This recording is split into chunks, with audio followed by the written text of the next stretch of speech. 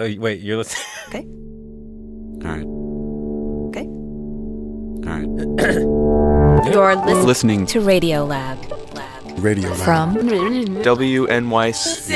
See? yeah.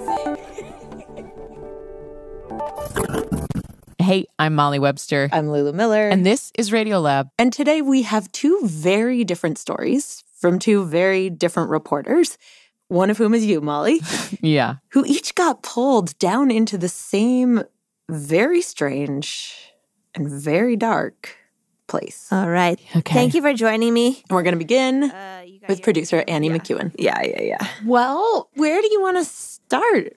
Where do I want to start? I want to start in Siberia. Okay. Okay. So the year is 1908. It is June. It is a bright, sunny morning. And in this remote part of Russia, it's mostly forest, swamp, bugs, reindeer. The few people in the area are waking up, stretching their legs, making breakfast, and everything's cool. Okay. It is promising to be just a beautiful day. But that is all about to change. Because just after 7 a.m., something appears low in the sky as bright as the second sun. Hmm. From oral histories gathered years later, people reported looking up and seeing this thing rocketing towards Earth faster than a bullet. It quickly grows into a giant ball of fire, dragging behind it this tail of blue and white light. Whoa. It arcs across the sky, disappearing over the horizon. And then. A shockwave pulses through the forest, flattening trees, shattering windows, throwing people to the ground. The earth shakes, boats are tossed from rivers. Some people reported a hot blast of wind, others reported a colossal amount of smoke and fire. And luckily, because it's such a remote region, despite the fact that 800 square miles of forest were flattened, only somewhere between zero and three people are killed. Huh. Wow. And uh, I I don't know, have either of you heard of this before? It's called the Tunguska event. No. I've never heard of it. Tunguska. Tunguska. Is that that's the town? That's the nearby river. okay. And today, this is still considered the largest impact event in recorded human history. So, like an impact So event- there's a something that like hit us. Yes. Well, maybe. Hmm. Okay. So, a bunch of scientists go plunging into the forest to try to figure out what the heck just happened. They scramble over fallen log after fallen log, through dense bog after dense bog, for miles and miles until finally they realize they have no idea what happened out here. Okay. Uh, really? Yeah, they can't find any evidence of what caused this huge explosion. Wait, hmm. what? Like they sort of figured this must have been an asteroid. So they thought they'd find debris from an asteroid, like space rock. Yeah. They don't find a single bit of space rock in this whole area. Weird. And not only that, an asteroid that would have caused this much destruction should have left probably something like a three quarter mile long impact crater. And they don't find any crater whatsoever. That's kind of spooky. In 800 square miles of destruction, there was like nothing from space, Yeah. not even a hole. This is why people think UFOs exist. Yeah, and I think that like that's what the the scientists were like. Well, we have to we have to find what obviously should be there. Um, and so all kinds of ideas cropped up. Like some people thought it was maybe like a natural gas bubble that bursts from beneath Earth's crust. Um, but that doesn't explain like the bright light in the sky. Some people thought maybe it was like a strange kind of volcanic eruption, but again, doesn't really explain the light moving through the sky. Right. One guy for a while thought that he had found the crater and it was a lake, but then the locals were like, yo, that lake was here. It's been here forever. so they were trying for many, many years to figure out what the heck it was. But uh, so the main theory and the one that holds strongest today is that it was an asteroid, a really big one. Okay. Estimates put it at 120 feet across, 220 million Ooh, pounds. Oh my gosh. It's like a it's like an office building. Yeah. Or like an apartment building headed toward planet Earth. Right. And the theory is that it came into Earth's atmosphere at kind of a weird angle. And so it stayed in the atmosphere and started to overheat. And it got so hot that eventually it just went boom. Wait, but then are there some chunks or it's just dust and fire and So- energy? That's the thing. Like, that's a real question. Like, shouldn't there be some pieces of this, like, somewhere out there? Like, some sort of evidence? Yeah. And that's the part that is still a little weird. What do you think of that? That does seem strange, doesn't it? I I think it does. Yeah. But, you know, it's, it's pretty plausibly an atmospheric you know, explosion. And I think, um, you know, most scientists have sort of dusted their hands off and moved on to the next question with regards to Tunguska. It's not a cold case. It's not like, oh, on the shelf and well, I think in some people's minds it is. Hmm. Some still believe it wasn't an asteroid. This is astrophysicist Matt O'Dowd. Professor at the City University of New York, Lehman College. And I reached out to Matt because I had recently seen him on his side gig, Have you ever asked what is beyond the edge of the universe? this really awesome physics YouTube show. what would it take to build a starship?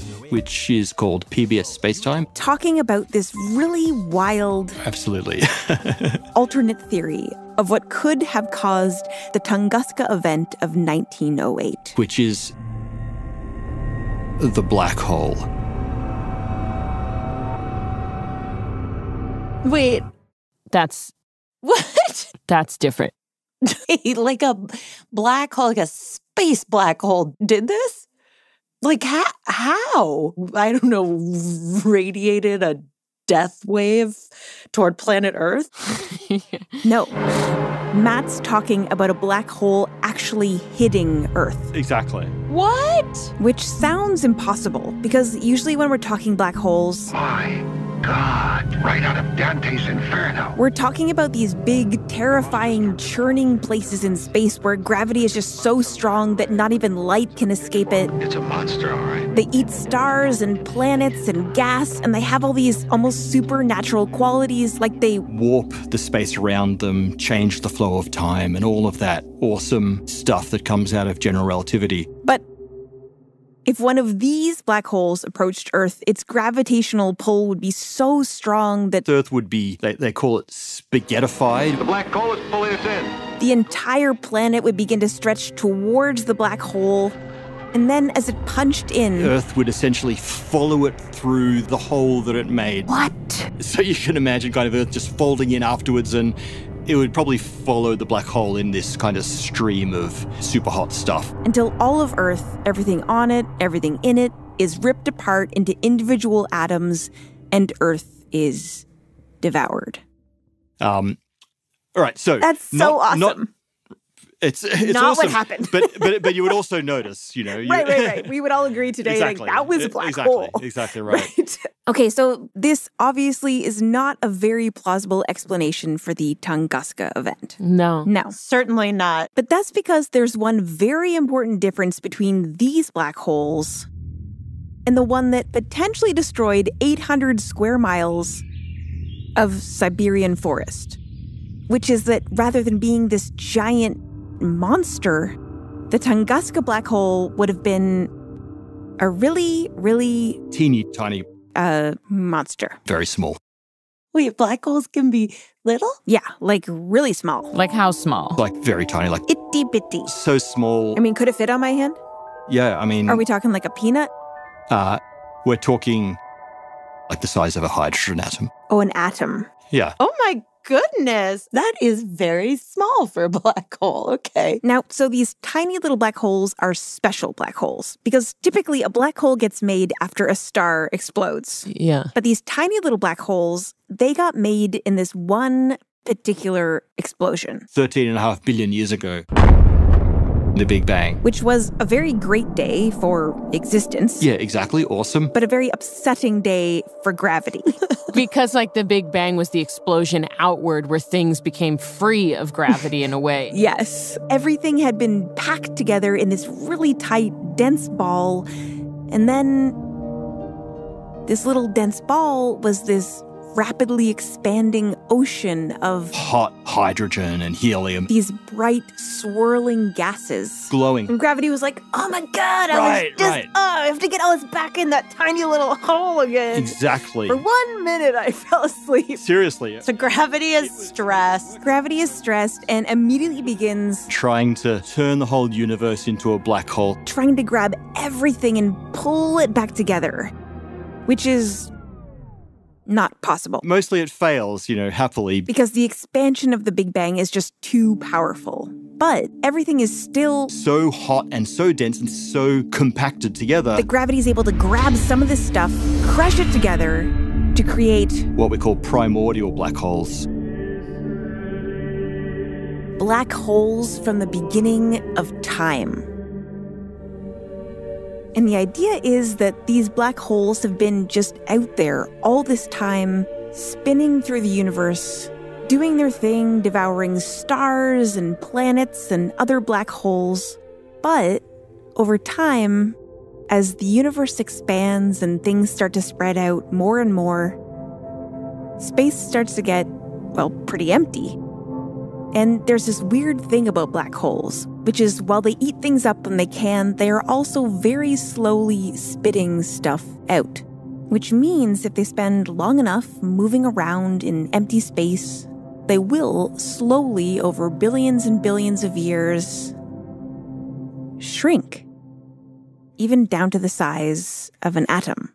Exactly. So these primordial black holes, or PBHs, which P- which do you prefer? PBHs. Pr- Really? uh, It sounds no, like- no, like- yeah, PBH. It's sounds like sounds like PBS, but you I know, or it sounds earlier. like a condiment. Yeah, exactly. PBH sauce. Yeah. Primordial black hole is good. I'm, It's really uh, good. I'm happy to go with yeah, okay, primordial okay. I black just hole. didn't know if it was It's, like a- uh, too you know, much every time, but no, yeah, okay, let's do I, it. I'll try Okay. to I'll try to say it fast. Great. All right. So Matt explained that even though these primordial black holes could be as small as an atom, still, they could be very massive. there is still a huge amount of stuff packed into that small space. So It's an atom, but with the mass of. an asteroid, basically. Oh. And the other thing is that super big black holes, they usually sit in the middle of a galaxy with everything spinning around them. These little primordial black holes, they're kind of like untethered. And since everything in the universe is swirling and spinning and moving around, They do have to cross the orbits of other objects. other objects like planet Earth, for instance. Exactly. And it's possible, or so the theory goes, that on a beautiful June morning in 1908, one of these primordial black holes, a particularly small one, about the size of a hydrogen atom, but with a mass equal to an office building sized rock, zooming along at 62 miles a second, about to make a direct hit with a certain patch of Siberian forest. Okay, we're back. We're back. You ready for impact? oh my God. Yeah. All right, let's do it. Mm-hmm. Okay. Now. Now. Okay. All right. So this primordial black hole punches through the atmosphere. Like a tiny needle of gravity. and stuff gets pulled towards that gravitational field. Stuff like nitrogen molecules, carbon dioxide, Oxygen molecules. and this tiny little black hole begins to eat. It devours molecule after molecule after molecule, and each one of those molecules As it fell into the black hole, becomes hotter than the surface of a star, an enormous amount of heat and energy. And with all that energy around the black hole, this halo begins to form. And it's not very big, but it is shining With the power of several Hiroshimas. several atomic bombs. Oh my God. And in that moment, if you had been standing in the Siberian forest, looking up at the sky, this would have looked exactly like a second sun rocketing through the sky, pulling behind it a tail of blue and white light. As it got closer and closer to the surface of the Earth, it would suck stuff from the atmosphere into it, and that would actually create enough heat and energy, to be equivalent in energy to an asteroid exploding. which meant this tiny primordial black hole was creating these enormous. Shockwaves. And what did that sound like?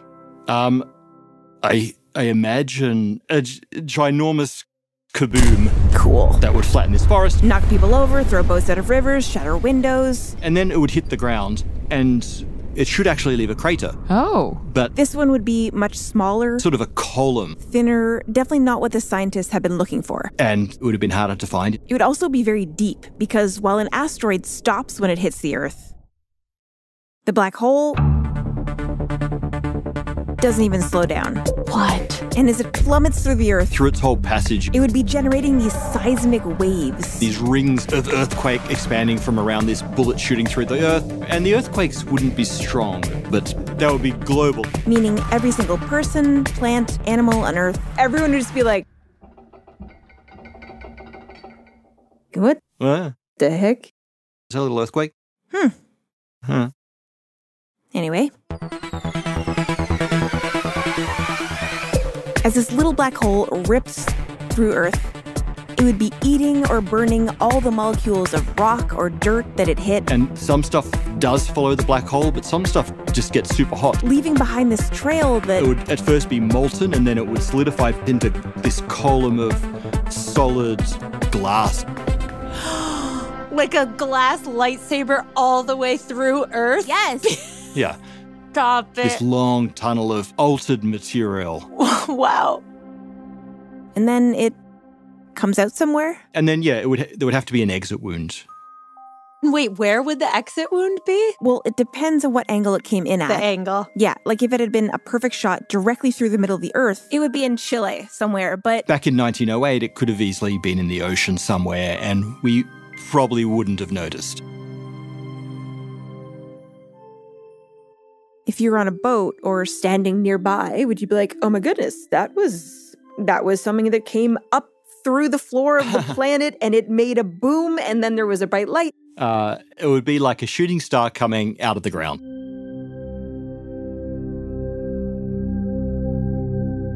That's so crazy. Right?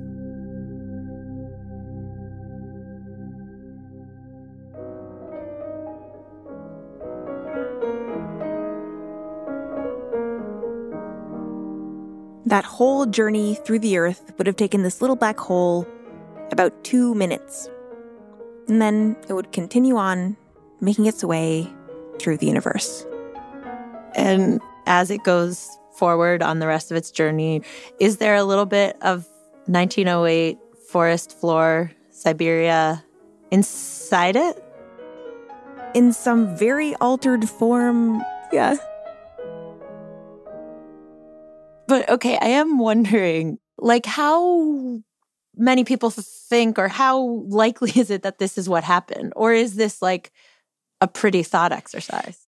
Well, this is a kind of a pretty thought exercise, but it doesn't mean that it's never happened or it's never going to happen. Hmm. Tunguska just gives you kind of like a case study for like, okay, well, is it possible that it could have been? And the scientists found out, yes, it is possible. And statistically, something like this either has happened in Earth's history or truly might happen in Earth's future.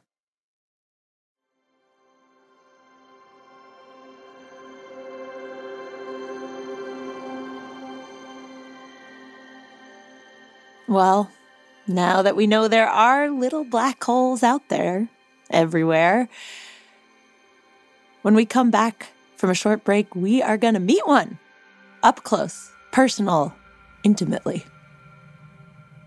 Stick with us.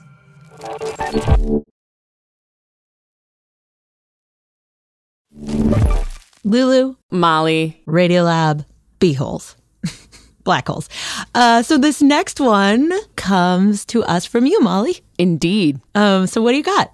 Um, so when Annie came to our pitch meeting and she was like, Have I got a story for you guys? It's about tiny black holes. I was like, Whoa, Annie, rolling up with your little black holes pitch. Like, I've got one too. and mine is a little black hole story that just took me in a completely different direction than the one that I or the show normally does. Uh, and it came out of this conversation that I had with a physicist, Brian Greene, who's like a popular science dude. And we were just having a chat one day, and he told me about this mystery that consumed physicists for decades. Okay. Which is that when things fall into black holes, they seem to just vanish. No one's ever been inside a black hole. We don't know how to look inside of a black hole. Um, so, seemingly, from our perspective, like matter disappears.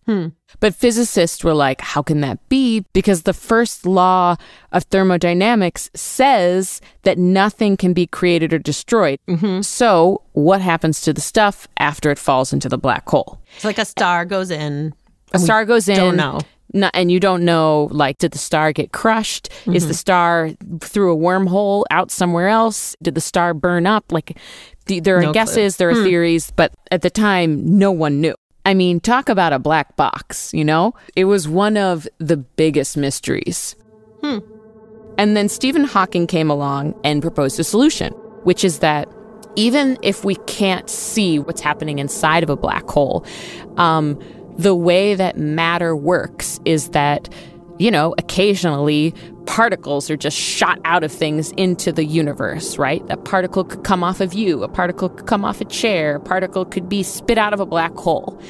And, um, and so he just he came up with this like idea which we now call hawking radiation that that is supported by math which is a statement i don't fully understand um, but came up with this idea that if you got to the surface of a black hole the black hole would be spitting out particles that contained information about like what was inside of it Oh, interest. So wait, so it's like the particles would come out and they might have little clues about like the interiority of a black hole. Yeah, they would be like, hey, I'm a particle and I'm telling you that there is a brown rock in here.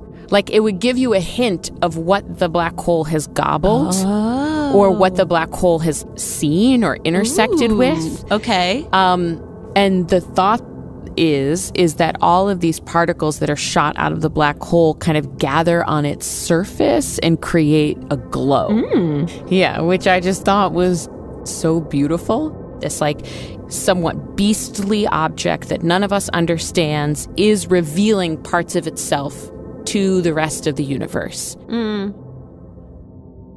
So I learn about all this stuff and I'm like, oh, that would be a really cool story. And normally what I do is I do a lot of like reporting and then I put a bunch of voices together and we put it on air. Mm-hmm. But but the idea of a glowing black hole never stuck with me in kind of like a science reporty way.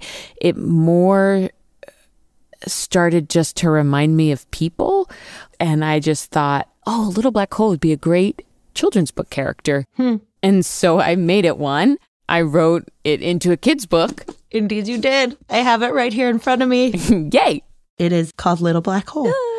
Okay, and will you re- will you will you flip to the first page of the story and just read us uh, the first couple pages of the story? Okay. There once was a little black hole who loved everything in the universe the stars, the planets, the space rocks and the space fox, even the flying astronauts. The little black hole loved her friends. One day, a star came by. The little black hole built a space castle with her. La la la, they sang as they built and soared.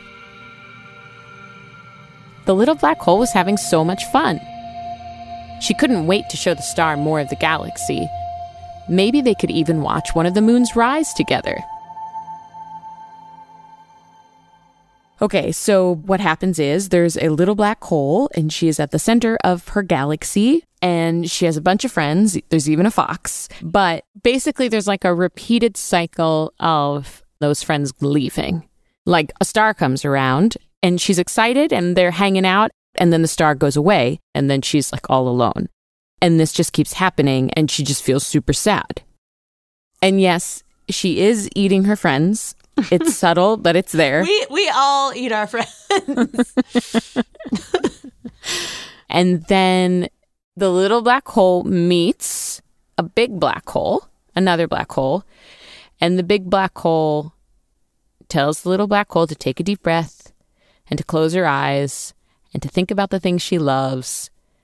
And what the little black hole sees is essentially she sees herself glowing she sees her Hawking radiation. Huh. Like she thought the star had left and the comet had left and the space fox and the space rocks and all these things from the millions of years of this little black hole living.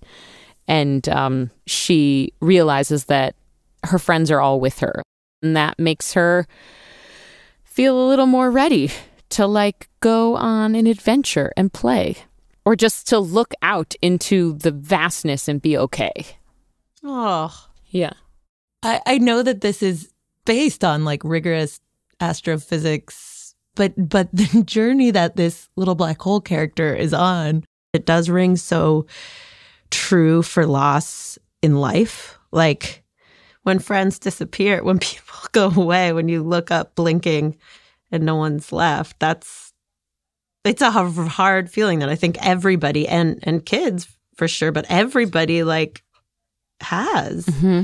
But I authentically, like, really, really just loved the realization that, like, the memories, the almost companionship in your mind, like, it doesn't have to go. It can, Yeah. but you, but it doesn't have to. It's interesting that you say that because I had a lot of trouble with the ending Hmm. because I was like, I don't in any way want to imply to kids that just because you realize you have some memories inside of you, like the world's a lot better. Yeah. Like it's a little bit better. Yeah. Um, and so that was interesting because I just dug from a space of like having this memory of a feeling of almost like left behindness. Hmm. Once I started to write the book, I'm like, oh, I'm the little black hole. Hmm. You know, I'm the youngest of of four sisters. Mm-hmm. And growing up, I felt like they were constantly like leaving, Mm. especially as they each got older and like went off into the world. And then, you know, it was just me. And then I was just like, I just wanted them to come back into my orbit again. Yeah. Did I say the word orbit when I was a kid? No, but I was always just like, why are you leaving? When are you coming back? And like feeling this sense of like loss. And I've had that feeling again and again with other relationships as people come and go. And that kind of echoey solitude is like something that I've always contended with and has been like a daily part of my life. Mm. And then at one point, I just had this feeling, which was like, even if people aren't with me, these people are out there and they love me and they know me and they believe in me. And that somehow makes charging through the world like more doable.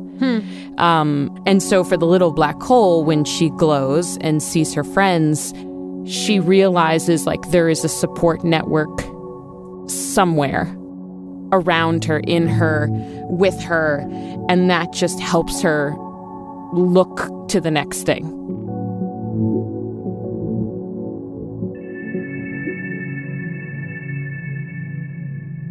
Okay, so can I tell you one more thing really quickly? Please. Okay. Yes. Okay. So when I was fact checking the book with Brian, he was saying that, you know, as black holes do this Hawking radiation thing, giving away bits and pieces of themselves, um, you know, they actually become smaller and smaller, which is what Annie talked about. That's how primordial black holes get so tiny.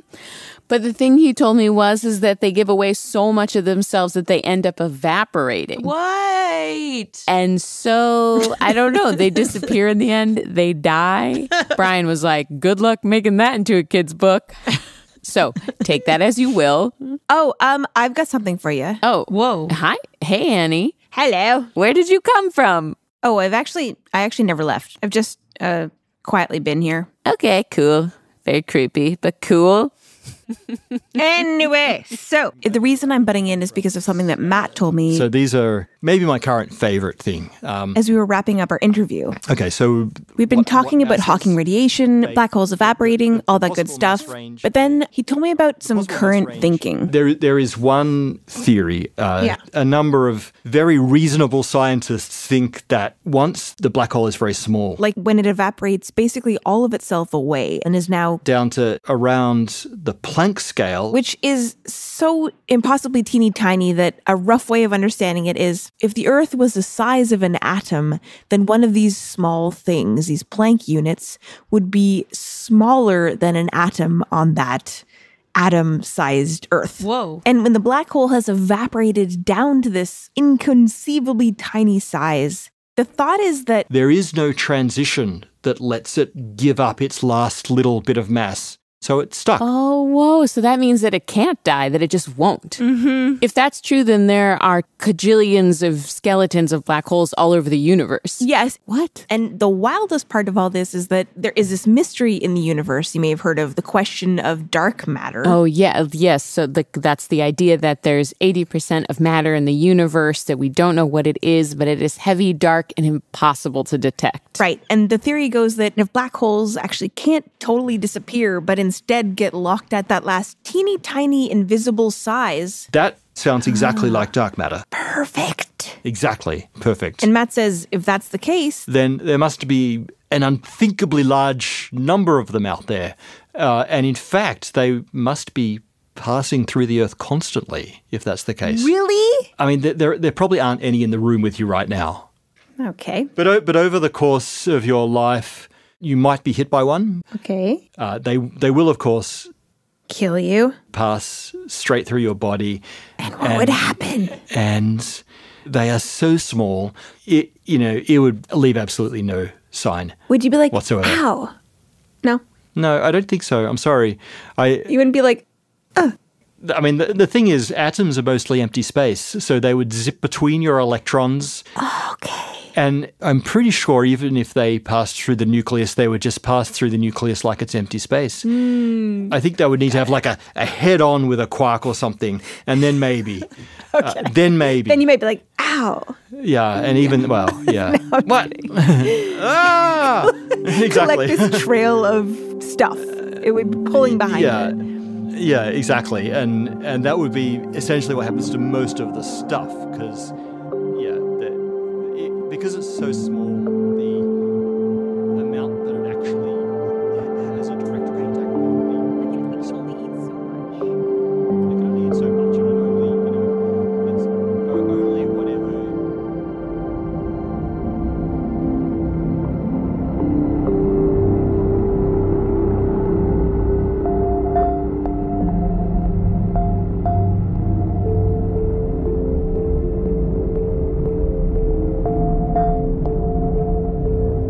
This episode was reported by Annie McEwen and Molly Webster. It was produced by Annie McEwen and Becca Bressler with help from Matt Kielty, fact checked by Diane Kelly, and edited by Alex Neason. Sound design by Matt Kielty and Annie McEwen, Jeremy Bloom, mixing by Jeremy Bloom, and dialogue mix by Arianne Wack. Special thanks to Matt Kaplan, a physicist at Illinois State University who worked on a team whose recent paper taught us what the impact crater left behind by a primordial black hole would actually look like. We also want to thank Priyambada Natarajan and Brian Greene. And we dedicate this episode to our newest, favorite, littlest black hole, Annie McEwen's baby boy. And then finally, a reminder that Molly's children's book is now out everywhere. You can find it online, you can find it in bookshops. Um, it is called Little Black Hole. It's illustrated by Alex Willmore, and it is full of heart and beauty and darkness, and it's all based on science. Uh, before we go, Malls, do you have any last BHFs, black hole facts, BHFFs, black hole fun facts to share? I do. I do always. Did you know most black holes generally have a best friend? Who? A star. Wait, what do you mean? That's just like always nearby, like like Yeah. like like what's his name, Yeah. Flounder in the Little Mermaid? Exactly. Exactly. Wait, that like You- wait, in what way? For real? the star orbits the black hole. They're sort of floating in space together. And then, depending on how close they are, they may eat it all. At some point, my jaw Or- is so wide right now. or I never knew that. they may just, um, you know, grab up little bits of it and hug it pretty close. That is wonderful. I, I am I'm so happy to know that. Um, all right. Well, well, thanks so much for listening. Enjoy all the little black holes hitting you. See you soon. Bye. Radiolab was created by Jad Abumrad and is edited by Soren Wheeler. Lulu Miller and Latif Nasser are our co-hosts. Dylan Keefe is our director of sound design.